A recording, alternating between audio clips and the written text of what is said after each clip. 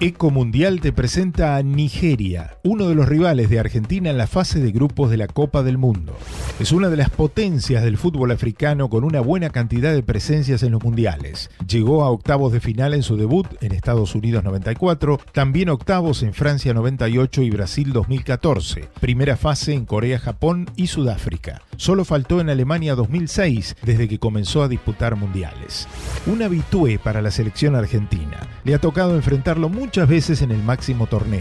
Por ejemplo, en Estados Unidos 94, cuando Argentina se impuso 2 a 1 con los dos goles de Canigia. Diego, Diego, ¿se acuerdan? Otra vez enfrentados en Corea-Japón 2002, con debut victorioso para el equipo de Bielsa 1 a 0, con gol de Batistuta, aunque luego ambos quedarían eliminados a manos de Inglaterra y Suecia. Nuevamente en Sudáfrica 2010, partido debut 1 a 0 para Argentina con el tempranero gol de Heinze. Y otra vez en Brasil 2014 con triunfo argentino 3 a 2 con dos de Messi y uno de Rojo.